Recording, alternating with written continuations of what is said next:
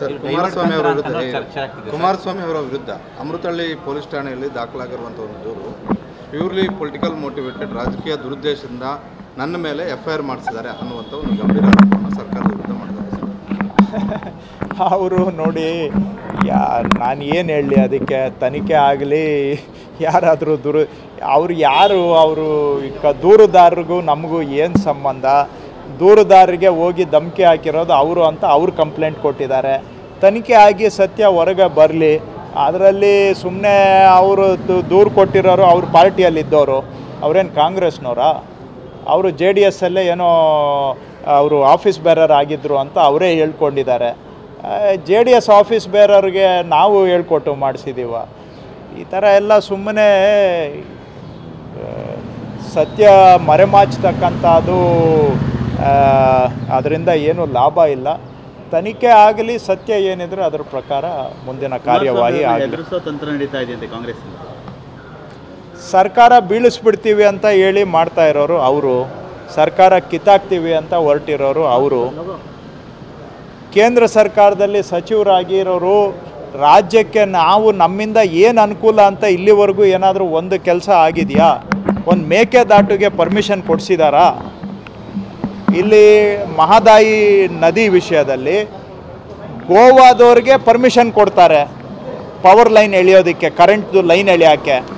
ಅಲ್ಲೇ ನಮ್ಮದು ಕಳಸ ಬಂಡೂರಿದು ನೀರಿನ ಪೈಪ್ ಹಾಕೋಕ್ಕೆ ನಮಗೆ ಪರ್ಮಿಷನ್ ಕೊಡಲ್ಲ. ಆದರೆ ಅಲ್ಲಿ ಮರಗಳನ್ನು ಕಡಿದು ಹೈ ಟೆನ್ಷನ್ನು ಲೈನ್ ಎಳೆದು ಗೋವಾಗೆ ಕರೆಂಟ್ ಕೊಡೋದಕ್ಕೆ ಪರ್ಮಿಷನ್ ಕೊಡ್ತಾರೆ. ನಮ್ಮ ರಾಜ್ಯದಿಂದ ಸಚಿವರಾಗಿರೋರು ಏನು ಮಾಡ್ತಾ ಇದ್ದಾರೆ?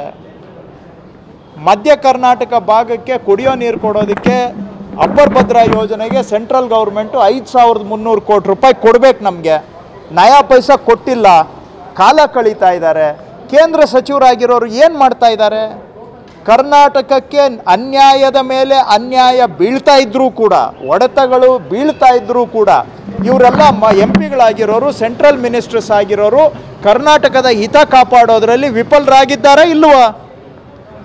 ಇವರು ಸೆಂಟ್ರಲ್ ಗೌರ್ಮೆಂಟಿಂದ ಈ ಥರ ಇಷ್ಟು ದೊಡ್ಡ ಅನ್ಯಾಯ ಕರ್ನಾಟಕಕ್ಕೆ ಆಗ್ತಾ ಇರೋವಾಗ ನ್ಯಾಯ ಕೊಡಿಸೋದು ಬಿಟ್ಟುಬಿಟ್ಟು ಅವ್ರದ್ದು ಗುರಿ ಎಲ್ಲ ಏನಪ್ಪ ಅಂತ ಹೇಳಿದ್ರೆ ಕಾಂಗ್ರೆಸ್ ಗೌರ್ಮೆಂಟು ಬೀಳಿಸ್ಬೇಕು.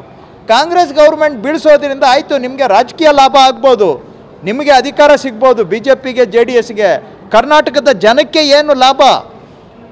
ಯಾಕೆ ಕೇಂದ್ರ ಸರ್ಕಾರದಿಂದ ಈ ಥರ ಅನ್ಯಾಯ ಆಗ್ತಾ ಇದೆ? ಅನ್ಯಾಯ ಆಗ್ತಾ ಇರೋವಾಗ ನೀವು ಸೆಂಟ್ರಲ್ ಮಿನಿಸ್ಟ್ರುಗಳು ಏನು ಮಾಡ್ತಾ ಇದ್ದೀರಿ?